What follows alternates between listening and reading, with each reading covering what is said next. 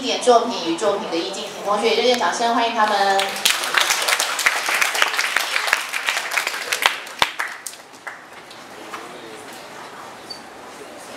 大家好，我们是第八组，我们这组要介绍的是宫崎骏。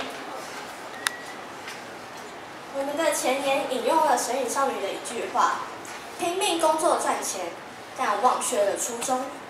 房子越来越大，心却越来越窄。”我们的研究动机：宫崎骏开启了我们梦幻般的童年，一脚踏入了另一个不可思议的空间。在那，我们可以抛下被现实束缚的自己。安心的展现最初始的自己。一件作品一定会有作者想要表达的想法，有时并不是直接表现在剧情当中，而是从某个角色、一个场景、个表情、一句话，表达作者想告诉我们的想法。我们的研究目的是为了探讨宫崎骏作品背后的真正遗憾。了解宫崎骏如何诠释虚拟而且真实的世界。宫崎骏大师常以虚构的场景贴近真实的人事物，来反讽世界和人的残酷。宫崎骏的作品不该只是孩子们欣赏，而是历经太多人是非的大人们观赏。宫崎骏他是日本知名动画厂吉卜力工作室的核心人物之一。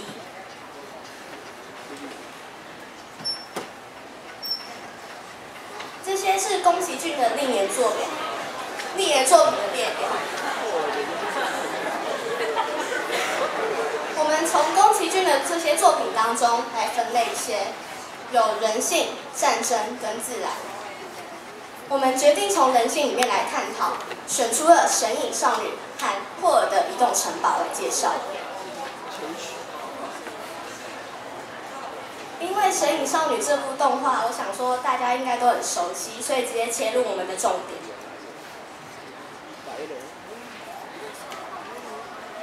角色性格分析，千寻他是纯真的代表。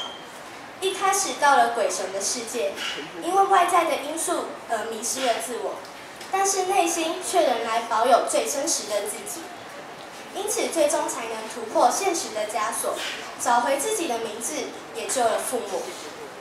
再来是千寻的父母亲，是贪婪的性格，没有经过同意就擅自闯入，并且在街道上大吃大喝，因为没有人看管，所以毫丝毫不知节制。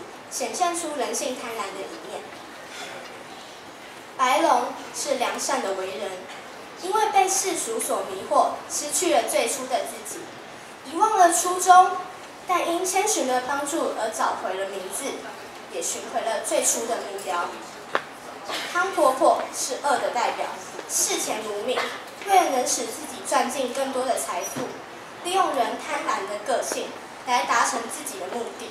夺走别人名字，让别人忘，让别人忘记自己是什么，一辈子为他卖命。钱婆婆，虽然她的名字里面有一个钱字，但是她并不爱钱，她是善良的代表。再来是无脸男，这个角色凸显了寂寞和被忽视，也就是没有存在感，也是现今许多人的问题，没有表象却又存在。没有自信，所以在乎别人的想法，一味的想讨好别人，却又一直在失落与期盼中不断上演。《神隐少神隐少女》这部作品带给了我们很大的启示：千寻在纸醉金迷的油屋内，还保有最真实的自己。反观我们自己，是否在这美丽而残酷的世界中，还拥有最初的样貌呢？还是渐渐的戴上了面具？世界哭了，我们哭了；世界笑，我们也随和的笑了。被现实束缚的我们，是别人支配着我，还是由自己掌控？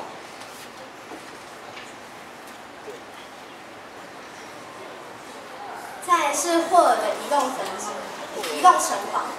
呃，因为角，因为这出动画大家应该也很多都也都很熟悉，所以我切入我们的重点。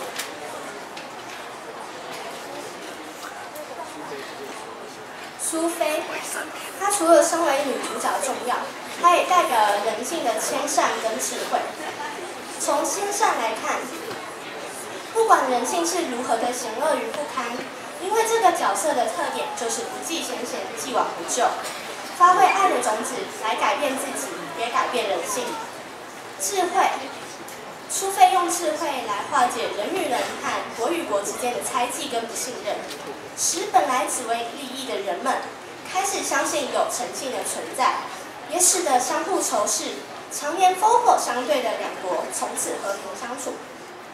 再是霍尔，除了是剧中的男主角之外，作者还把自信跟不安全感这两个极端行为用在霍尔身上。从自信来看，除了帅气，也拥有魔法师的能力，是我们一般人呈现。我们的总结是：从宫崎骏大师作品分析，可以发现每部作品后面都有不同的意涵。可以从宫崎骏大师的作品了解许多事。小学、幼稚园，宫崎骏动画就像迪士尼动画一样，陪伴我们这些小小孩。在做这个专题的心得里面，我觉得宫崎骏是一个很优秀的动画家，他有许多好看的电影，但其实电影里面都含有不同的意义，里面的含义都是希望人们可以领悟，例如爱惜大自然、反战等等。这次的专题研究可以让我们把宫崎骏电影里想表达的传给传达给大家。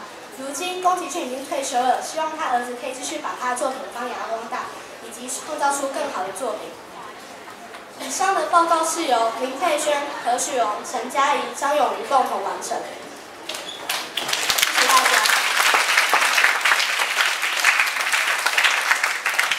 好，谢谢八年人班带来宫崎骏的作品的介绍。呃，感谢各位同学耐心的聆听所有同学认真的做的报告。但是呢，这些报告呢，都是你们辛苦的国文老师带着你们在这一年来所产出的结果。所以我要先敬你们的手，谢谢呢八年级的全体的国文老师，有八年前班的林君老师，八年正班的简贝娟老师，啊，八年校班的张琼华主任，然后呃，八年湖班的孟雪老师，还有八年人班的黄妙山老师，请以热烈掌声谢谢这五位辛苦的国文老师。接下来呢，我们请琼华主任帮我们做一个简单的说呃讲评跟说明，谢谢。